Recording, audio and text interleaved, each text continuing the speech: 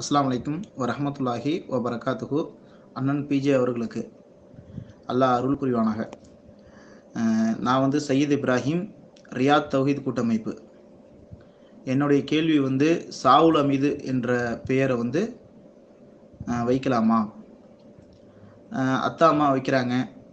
அது வயசாயிடுது. அதை மாற்றணுன்னாக்கா நிறைய சட்ட சிக்கல்லாம் இருக்குது. அப்படி இருக்கையில் நிர்பந்தத்தின் அடிப்படையில் அந்த பேர் நீடித்து வைத்திருக்கலாமா? அப்படின்ற கேள்விக்கு பதில் தருமாறு கேட்டுக்கொள்கிறேன். அஸ்லாம் அலைக்கும் வரமத்துல்லாஹி வபரகாத்துகு ஜஸாக்கல்லாஹ் ஹைரான் ரியாத்திலிருந்து சையத் இப்ராஹிம் அவருடைய கேள்வியை பாருங்கள் அவர் என்ன சொல்கிறாருன்னு கேட்டால் ஷாகுல் ஹமீத் என்று பெயர் வைக்கலாமா? அறியாமை காலத்தில் அப்படி பெயரை பெற்றோர்கள் வைத்திருந்தால் இப்போ மாற்றணுமா? இப்போ மாற்றும்போது பல சிக்கல்கள்லாம் ஏற்படுமே. சொத்துக்கள் எல்லாம் சாகுல் மீதுன்னு வாங்கியிருப்பார். பேரை மாற்றுவதன் மூலமாக அந்த சொத்து பிரச்சனை பலவிதமான ரெக்கார்டுகள் ஆதார் அட்டையிலேருந்து ரேஷன் கார்டில் இருந்து எல்லா ஆவணங்கள்லையும் அதில் ஒரு பெரிய சிரமங்களையெல்லாம் சந்திக்க வேண்டி வருமே. அதுக்கு என்ன செய்வது அப்படிங்கிறது கேட்குறாரு. முதல்ல வந்து இந்த ஷாகுல் ஹமீத் என்பதுக்கு என்ன அர்த்தம்? அதை பார்க்கணும். ஹமீதுங்கிறது அரபி வார்த்தை. ஹமீதுனா என்னது? அல்லாவுடைய தொண்ணூத்தொம்போது பெயர்களில் ஹமீது ஒன்று ஹமீது குரானில் என்ன செய்யும்? வரும். ஹமீதுன்னா புகழுக்குரியவன். அல்லாஹ் வந்து ஹமீத். அப்துல் ஹமீதுன்னெலாம் பேர் வைக்கிறோம்ல. அப்துல் ஹமீதுனா ஹமீதுக்கு அடிமை. அப்துல்லான்னா அல்லாவின் அடிமை. அப்துல் ரஹ்மான்னா ரஹ்மானின் அடிமை. அந்த ரஹ்மான் மாதிரி இடத்துல எதை வைக்கிறோம்? ஹமீதை வைக்கிறோம். அப்துல் ஹமீத். அப்போ ஹமீதுக்குடைய அடிமைங்கிறோம்.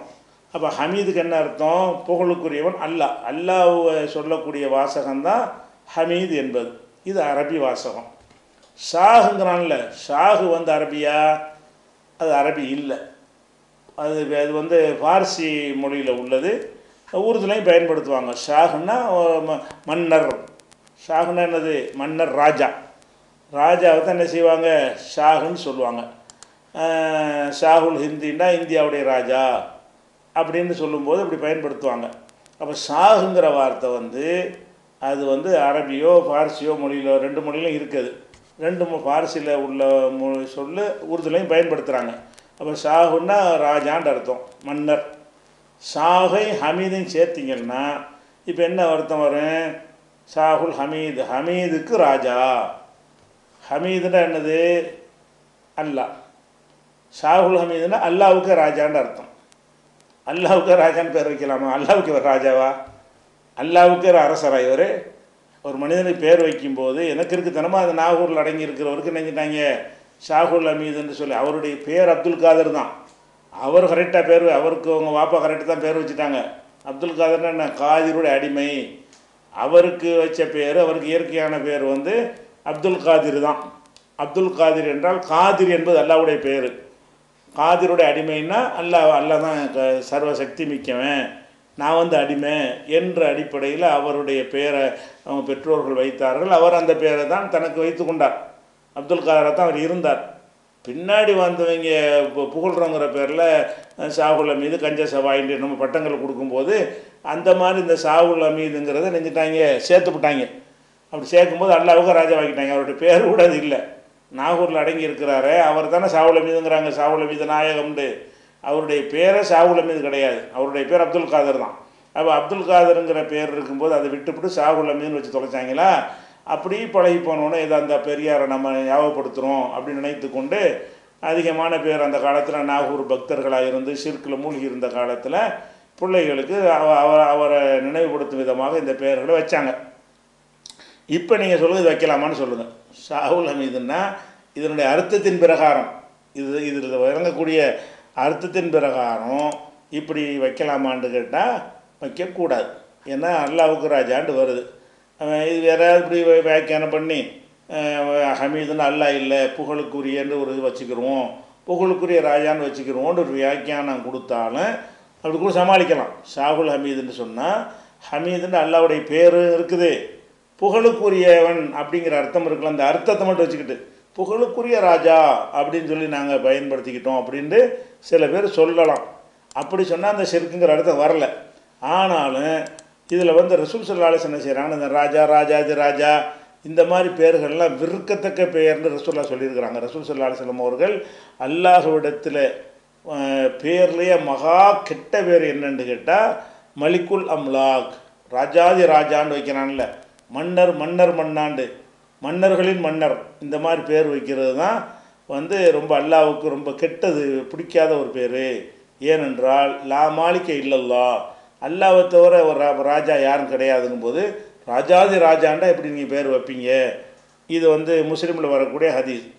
சுஃபியான் என்பவர் அவர் சொல்கிறாரு ஷாஹின் ஷாஹ் ஷாஹின் ஷான்னு உருதுல காட்டு ஷாஹின்ஷான்னு வைக்கிறாங்க அதுவும் இந்த மாதிரி தாங்கிறாரு ஷாஹின்ஷான்னு என்ன அர்த்தம்? மலிக்குல் அம்லாக்குடைய ஃபாரிசி வார்த்தை தான். ஷாஹின்ஷான்னா ராஜாவுக்கு ராஜா அப்படின்னு சொல்லி வைக்கிறது. இந்த மாதிரி எல்லாம் பேர் வைக்கிறாங்கன்னு ஒரு மனிதன் ராஜா ராஜாதி ராஜான்லாம் வைக்கிறது. அது ஒரு நல்ல ஒரு சொல்லு கிடையாது. இதை ரசூலில் கண்டித்தது முஸ்லீம்லேயும் வந்திருக்குது. அதே மாதிரி உதாரணமாக நம்ம இந்தியாவை ஆட்சி புரிந்த மன்னர்கள்லாம் என்ன செய்வாங்கன்னா எல்லா பேரும் ஷாஹின் ஷான்னு அழைக்கப்படுவாங்க. முஸ்லீம் முஸ்லீம் மன்னர்கள் இந்த நம்ம நாட்டை ஆட்சி பண்ணான்ல எல்லாருமே என்ன பண்ணுவாங்கன்றா அவனை வந்து எப்படி அழைக்கணும்னு கேட்டால் ஷாஹின் ஷா. எது அழைக்கிறதுக்கு ரசூல்ல தடுத்தாங்களோ அந்த சொல்லை கொண்டு தான் அழைக்கப்பட்டார்கள் ஷாஹின் ஷா. சினிமாக்கள்லாம் எல்லாம் அந்த அந்த முகலாய மன்னர்களுடைய படத்தெல்லாம் எடுக்கும்போது ஷாஹின் ஷா சொல்லுங்கன்னு தாங்க சொல்லுவாங்க. சினிமாவில் தான் சொல்கிறாங்கன்னு இல்லை அப்படி தான் அவங்க வந்து அழைக்கப்பட்டார்கள். அந்த மாதிரி அழைக்கணும்னு ஆகியிருந்தார்கள் இந்த அவுரங்கசேப்னு ஒருத்தர் இருந்தார். அவர் எப்படி அழைப்பாங்க? ஆலம்கீர் அகில உலக சக்கரவர்த்தி. ஆலம்டா உலகம். கீர்னா அந்த உலகத்தையே கட்டி ஆண்டவர். அகில உலக சக்கரவர்த்தின்னு நினைஞ்சாங்க அவரை போய் அழைச்சாங்க. இப்படியே இந்த அழைத்த ஒரு விஷயங்கள்ல தான் இந்த மாதிரி மனிதர்களை வந்து எல்லை மீறி பேர் வைக்கிறதுல புகழ்றது. இப்போ இந்த ஷாவுல் அமீதுங்கிறது வந்து அஹ், ராஜான்னு அர்த்தமாச்சு. ஹமீதுக்கு ராஜா அப்படின்னு வச்சா அது வந்து அல்லாவை குறிக்கிற மாதிரி வர்றதுனால அதை தவிர்க்கத்தான் வேணும். இல்லை அந்த அல்லாவை நாங்கள் நாடலை. புகழுக்குரிய ஒரு ராஜாண்டு வச்சுருக்கோம் செல்லமாக வச்சுருக்கிறோம் என்று எதை வியாக்கியானம் கொடுத்தார்களே ஆனால் அதை அந்த வியாக்கியானமாக நினைத்து கொண்டு வைத்தால் அந்த செருக்குங்கிறது வராத தவிர இது ஒரு நல்ல ஒரு பெயராக இருக்காது. இப்போ என்னென்னு கேட்டால் வச்சுட்டாங்க. சாகுலமே நினச்சிட்டாங்க. வச்சுட்டாங்க. வச்சதை வந்து ஒரு சொத்து பத்து இல்லாத ஒரு ஆளாக இருந்தால் என்ன செய்யலாம்? ஈஸியாக மாற்றிட்டு போயிடலாம். இப்போ நவீன காலத்தில் எல்லாமே ஆவணங்களாக ஆக்கப்படக்கூடிய நேரத்தில் ஒரு பேரை மாற்றுதல் என்பதற்கு நிறைய ரெக்கார்டுகளை மாற்ற வேண்டியிருக்கும். பேரை மாற்றினா பள்ளிக்கூடத்து சர்டிஃபிகேட்டில் இருந்து பிறப்பு சர்டிஃபிகேட்டில் இருந்து ஆதார் அட்டையில் இருந்து ரேஷன் கார்டில் இருந்து இப்படி வாங்குகிற சொத்து பத்து எல்லாத்துலேயும் எல்லா ஆவணங்களில் இருந்து வாடகை பத்திரத்தில் இருந்து அக்ரிமெண்ட் போடுற பத்திரத்தில் இருந்து எல்லாத்தையும் என்ன செய்யணும்? சாகுள்ள மீது அக்ரிமெண்ட் போட்டிருப்பீங்க. அஹ், மூத்தா போயிடுவீங்க அப்புறம் பேரை மாற்றிட்டு சாகுல மீது அப்துல் கார் மாற்றிட்டு போனீங்கன்னு சொன்னால் இது சாகுல் மீட்டை போட்ட ஒப்பந்தம் ஓன்ட்ட போடலான்ருவாங்க அப்போ இந்த சொத்துக்கள்லாம் ப- அது மாதிரிலாம் வரும். அந்த மாதிரி ஒரு நெருக்கடி வரும் என்று சொன்னால் நீங்கள் என்ன செய்யணும்னா இந்த சாகுல் அமீதுக்கு வந்து அந்த அர்த்தத்தை கொடுக்காம ஹமீதுக்கு ராஜான்னு இருக்காம ஒரு புகழுக்குரிய ராஜான்னு ஒரு அந்த மாதிரி கொடுக்குற ஒரு சின்ன ஒரு இடம் இருக்குது நினைத்து கொண்டு அது தொலைஞ்சிட்டு போகுதுன்னு வச்சுக்கிட்டு இனிமேல் அதை வைக்காமல் என்ன செய்யணும்? இந்த மாதிரி நிர்பந்தம் ஒன்று இருக்கிறது.